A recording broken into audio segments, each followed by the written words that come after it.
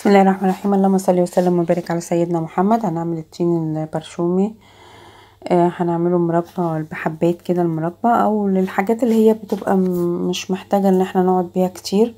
المهم عشان التين سريع البوظان يعني ممكن نعمل الطريقة ديت بتبقى حلوة وبتغلف بيها التين. بنحط بنغسل التين كويس وبعدين بنحطه في الحلة اللي إحنا هنحط فيها. عشان دي اللي حط في النار يعني هندخلها النار. وادي التين اهو بعد ما اتغسل. هنحط بقى سكر هنعملها بالسكر ال diet النهارده. هي طبعا التين مش محتاج سكريات كتير لأن هو أساسا طبعه حلو يعني.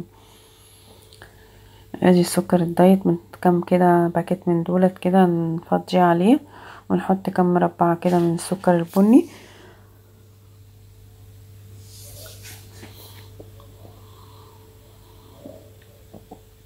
بالمنظر دوت اللي إحنا شايفينه بنحط ونبتدي بقى نحطه على النار. نولع النار عليه كم مكعب بني اهو.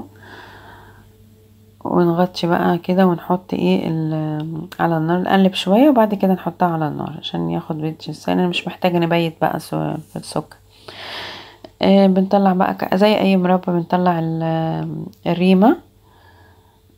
إيه ما بتعملش ريمة كتير عموما لأن إيه مش هقعدها كتير في مش هبيتها في السكر والحاجات دي. فما بتعملش ريمة كتير. هي دوبك غلوتين على فكرة وخلاص يعني. عشان تطلع الحبة بحبايتها والدي بتبقى عشان تتاكل في ساعتها يعني مش هن ما بتقعدش كتير عموما. وبنحتاجها بقى ممكن تحطوها في أي حاجة أنتوا عايزينها الكيك أي حاجة يعني من الحاجات الحلويات دي. ونحط تلات أربع قرون اللي هي حبات القرنفل. وأدي الغلوة كده. هي على فكرة أنا أكلتها كده كانت في مرسى مطروح كانت جميلة جدا.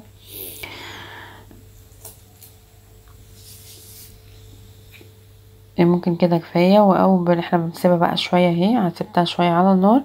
تشرب شوية من المية بتاعتها. وبردك الحبة بحبايتها هي موجودة.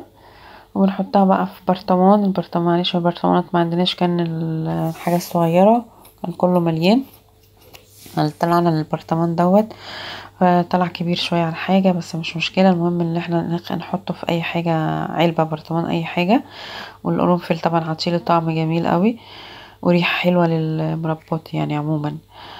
وما تنسوش الاشتراك في القناة وتفعيل الجرس عشان يوصلكوا كل جديد من قناة سوسو قناة منزلية بسيطة وأنيقة.